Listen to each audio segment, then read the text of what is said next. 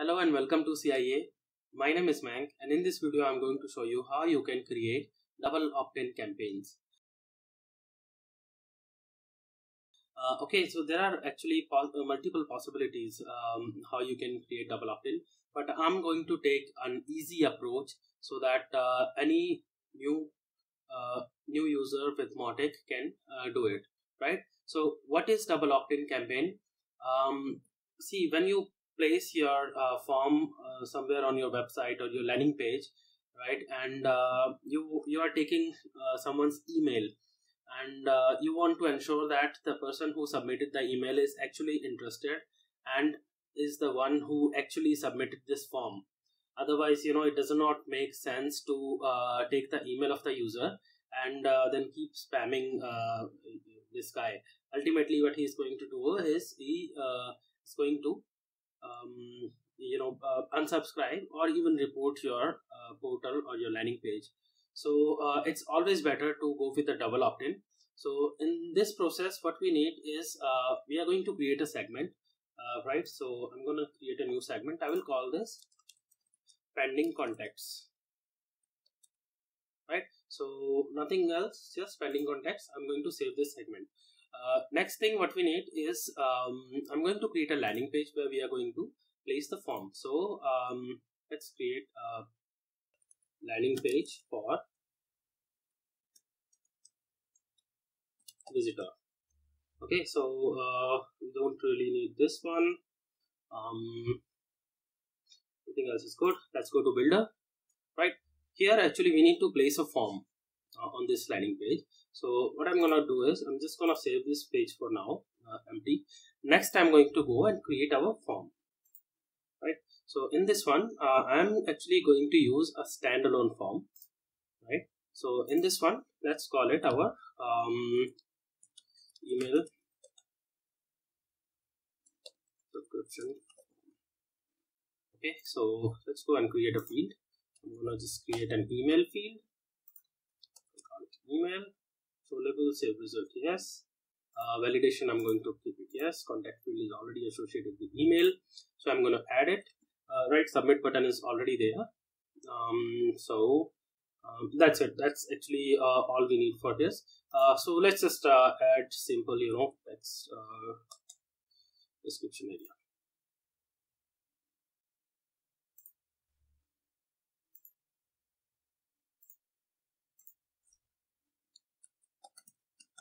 for our newsletter. Okay so in the properties let's say uh, i'm gonna say um, don't spam. You get only what you signed up for. Okay i'm just gonna put it here. So um i'm just gonna leave it like that. Uh, let's choose a theme oxygen. Save and right so the form is ready. Uh, if you want you can uh, preview this form how it looks. So as you can see so it, it looks like that. Um, i'm just gonna place this field above. Right so that's it. Save. Okay so uh, this is the form id 5 okay i'm going back to our landing page. Um yeah so or maybe just call it uh, you know uh,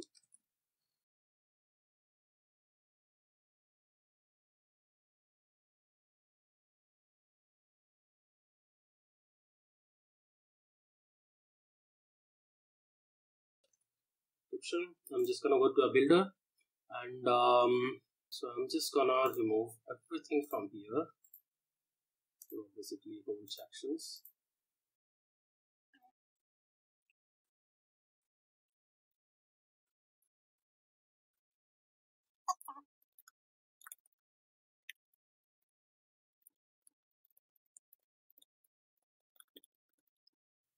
okay and then we need to place the form.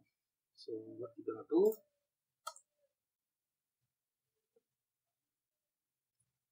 Insert token and here email subscription form.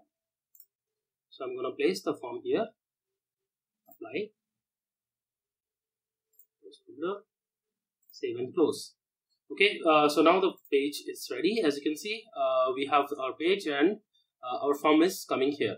So next step uh, i'm going to go back to the form right? So uh, what is already done we have a landing page where we have put the form. Uh, we have a segment where we are going to put our contacts which have not yet been verified. So what is the next step? When the contact is submitting a form we need to send an email with the link to this landing page right? So what we are gonna do is we're gonna create an email. Okay, so I'm just going to create a new email. Um, let's call it uh, template email. I will use this simple. Um,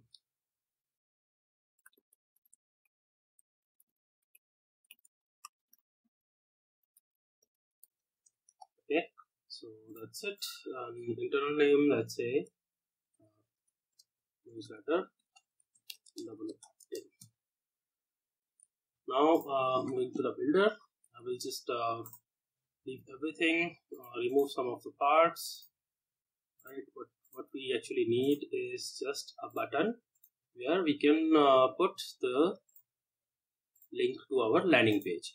Right uh, so as you can see this is a call to action and uh, what i'm gonna do is i'm gonna remove this and here i will um, place a button. Right and uh, let's see the landing page. So um, so thank you for your interest. So i'm gonna use this one. Okay so let me check. So the page link is one. So what i'm gonna do is i'm just gonna here uh, place the button link. Yes. Link is equal to 1 button text confirm your subscription. Okay uh, that's it. Apply. Close. Save and close. Right? So uh, if you go and preview this is taking us to the thank you page. If i uh, you know just go back. So i think uh, i just left the link there in the text. I will go back and remove this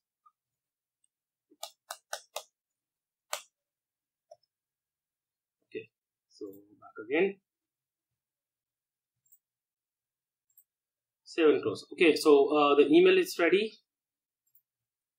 Um, what we have left is just a campaign, right? So uh, what we are going to do is um, let's go to the campaign and uh, create a new campaign. Call it confirm admin opt-ins right so published choose the segment. In this segment i'm going to choose pending contact. Okay? Add. We're going to put a decision here. If the contact has visited the page thank you. Right? So i'm just going to add it. If this contact visited this page then what we will do is we're going to change the segment. Modify contact segment and we are just going to remove it from pending contact segment. So anything which is part of pending contact, you just don't send email to them, and anything which is out of it, we can simply, uh, you know, um, uh, put keep put uh, take them out of the pending segment, and that's it. So apply, close builder, save and close. Okay, so now the campaign is active now let's go back to our form and uh, what we are going to do is the forms. Um, email subscription form I'm going to edit it. Now we need to add some actions in the form. So what action do we need to take? Uh, first of all we need to put this contact to segment which is what? Pending contacts right? So add. We need to send an email to the contact right if you don't send email to the contact how they are going to click on the link and how they are going to uh, confirm. So now what we need to do is uh, choose the email. So newsletter double opt-in email that's what we are going to send right? So these are the two steps which are uh, which should take place. So i'm going to save and close that's it that's all of it uh, that you need to do right? So now let's uh, go on and uh, test it out. So what i'm gonna do is i will go to the landing page that we just created. Email newsletter subscription right? So i'm just going to copy this. I will go to a private window paste it here right? So email i'm gonna do okay. So here submitted it has been submitted. So now we should receive an email so i'm going to check my email. Right so in the promotions i have got uh, one uh, email as you can see. Uh, so this is for confirm your subscription. Right so i'm opening this in the uh, main window but uh, what i'm going to do is i'm going to copy this link from here and going to go back in uh, my private window. And here i'm just going to open this right? So i have opened it. Right this has taken me to the thank you uh, for your interest right? So what i did now i submitted the form i got the email to confirm my email address and then i clicked on the link. So this has taken me here. So now let's go back to the Mautic and check uh, what happened there right? So uh, let me go to the context and check the history of this contact. So i'm going to this. So let's see. I submitted the form email subscription form. Then the email was sent. Contact was added to pending opt-ins right? Uh, um, contact added to campaign um, because it was added to the segment. Then email was read this email was read by me. Then i visited the page as you can see the page is uh, hit is recorded. Then campaign action triggered which one? Modify contact segment. And contact was removed from campaign as well as from pending contact segment right? And then uh, this uh, thank you page i visited which is here and this is how uh, the complete uh, opt-in process was followed. So i hope you were able to understand and uh, i hope i tried to make it easy you know to uh, make it really easy. What you should ideally do is every form has its own purpose right? So when the purpose is completed and when you are modifying this contact segment so what you can do is change uh, remove this from, uh, contact from the pending opt-in and put this uh, contact into the actual segment where it should be placed uh, after submitting the form. So we are just adding a detour for uh, this contact in order to verify the email address. Other than that, it is completely normal process, right? So this is how it goes. Um, I hope you were able to understand. If you uh, have any questions or queries about this, do let me know in the comments. thanks for watching. Please don't forget to like and subscribe.